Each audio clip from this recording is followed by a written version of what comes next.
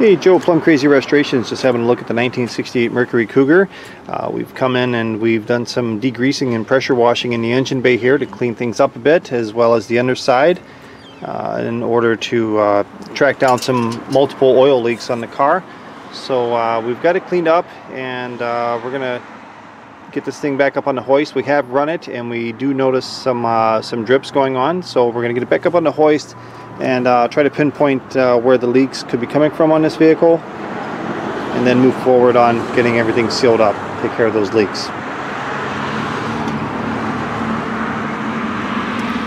Um, we've uh, noticed still some leaking on the uh, underside of the car and after cleaning we found that the uh, the fuel pump is actually leaking gas uh, between the seams here. I don't know if this will show up on the video or not but uh, at this point we want to replace the fuel pump. Um, it's gas we see dripping off the uh, bottom of the pump there. So um, for the steering we have tightened up the high pressure fitting.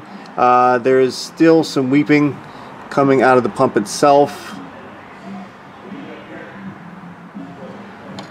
At the very bottom, again I don't know if it shows up in the video but it's there. Um, and on the back of the engine here we do have some oil coming off the back of the pan uh, at this point we're unsure if it's the oil pan gasket uh, maybe shifted during install or if we have a rear main seal problem.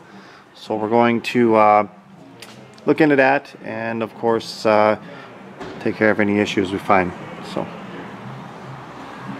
Okay we have replaced the uh, transmission pan gasket and topped it off and that all looks good. Uh, not seeing any dripping coming from there and moving back to the rear end again uh, cleaned. And uh, appears that the oil found back there was mostly uh, oil blowing back from the engine onto the rear end itself. So we'll get this cleaned up and uh, get back into the uh, few leaks that are remaining and go from there